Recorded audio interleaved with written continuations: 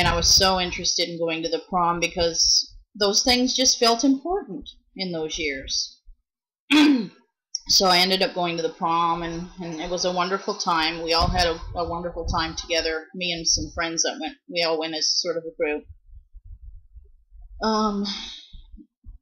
So I was never teased about asexuality, and this was back in the late '80s. Um, I graduated high school in the late '80s, so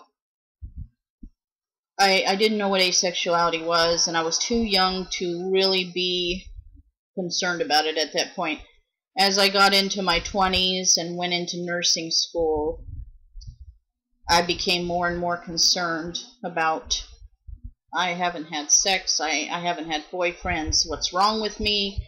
Am I some sort of freak? Am I gay? Am I. What am I? You know, what's wrong with me? Why am I not seeking and pursuing dating and sex and all that other stuff?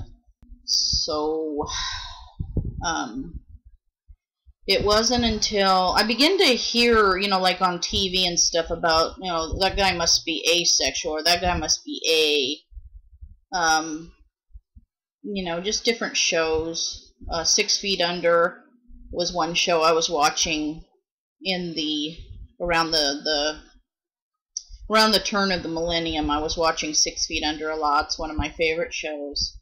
And around season three, there was a, a, character named Arthur Martin who was played by Rainn Wilson. And observing him and the way people were responding to his personality and just his presence, I begin to realize that some people are just, they don't have a, they have this vibe about them that is, you know, genderqueer uh, they have a vibe about them where they're just there's no sexuality that can be detected in the way that they dress or the way they move or talk or anything.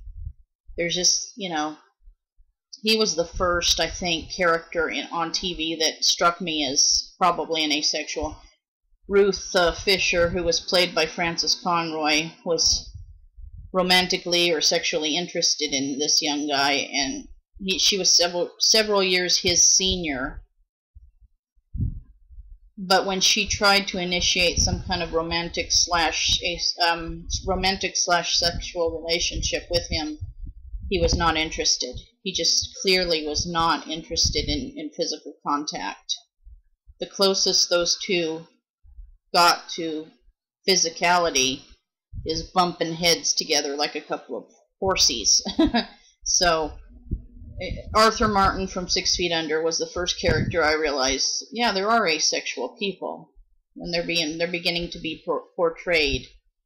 Um, he was he was a little bit on the weird side, and I wasn't really I wasn't sure if the writers were right to make him that way.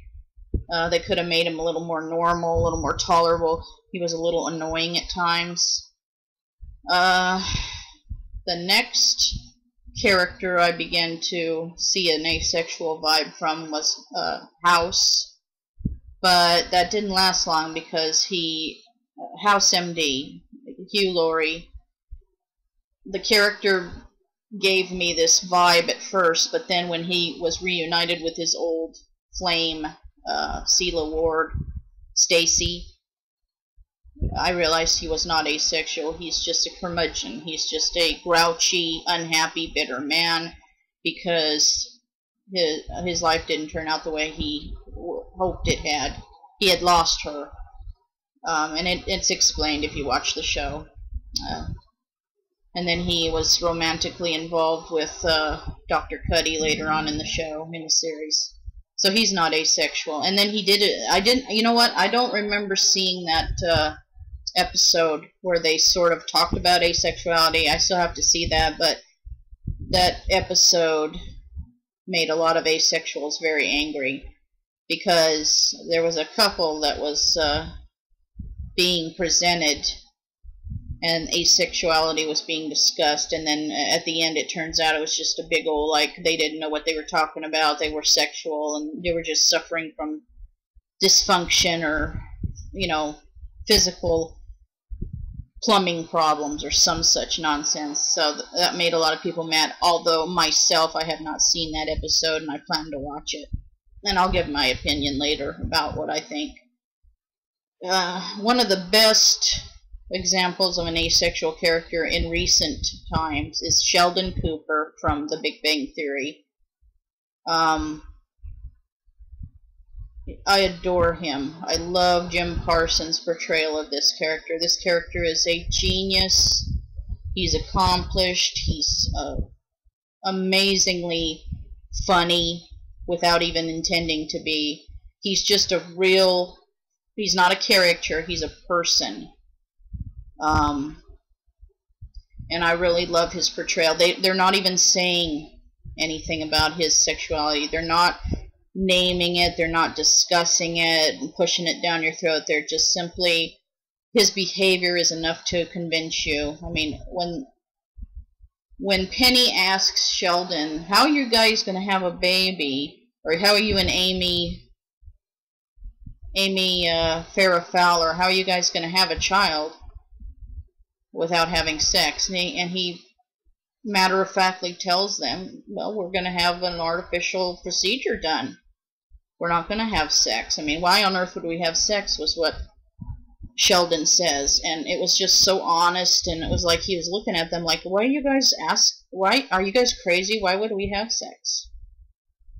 He's clearly an asexual. Uh, in an unaired pilot, they suggested he might have had intercourse with one girl at one time, but all through, I have not seen the, the later seasons yet, so he might be changed at this point. Maybe he and Farrah or Amy you know, later on maybe they do decide to be more intimate, but I haven't gotten that far in the series yet. I'm only on season three. I, I'm I'm always way behind everybody else when I watch TV. So he is a very good example. Mr. Spock from Star Trek, well, you know, frankly, he's he's pretty good uh, by himself for the most part. The only problem he has is every seven years he goes into Pon farr. and I love Star Trek. I love I love Mr. Spock as portrayed by Leonard Nimoy and also by uh, Zachary Quinto. Um, so that's a good character that I look to for a good example. Uh, one one movie that I thought was really cute and funny and, and just a good comedy was The 40 Year Old Virgin. But I wasn't too crazy about uh, he was more of a caricature in my my opinion. He wasn't really an actual solid human, realistic character. He was just this guy who somehow just didn't didn't get around to having sex. Why? I don't know. To me, there's always a reason why, and it should have been better explained, or it should have been a, a movie that gave somebody the opportunity to discuss asexuality or something as maybe simple as just lack of arousal, lack of uh, sex, uh, lack of sexual arousal. It might have been a physical disorder. You know, there were so many opportunities to discuss, but they it's basically a comedy, and they were really only concentrating on making people laugh. Um, so it was cute as a comedy, but I wouldn't say that it was a real great thing to educate yourself about asexuality with. So, anyway, uh, I didn't get teased. Now, in my family these days, the older I get, the more I get the pity party from family members who think, well, you're just going to die alone and you're going to be unhappy and you're going to be full of regret. And my answer to them is, we come into this world naked. We come into this world completely alone. We have people around us, but we're still pretty much alone. So if I die naked and alone, who gives a crap? If I die in a nursing home with nobody around me except for the, you know, nursing uh, staff, so what? I mean, no matter who you are, you're alone, but you're not alone. There's no reason for anybody to feel pity for me because I don't want it. I don't need it. I'm not asking for anybody to feel sorry for me. I've had friends try to set me up. I've had friends try to preach at me about how it's not right to be alone. I mean, I've even had people, you know, uh, quoting Bible scripture at me saying, be fruitful and multiply. Believe me, this world is overpopulated enough.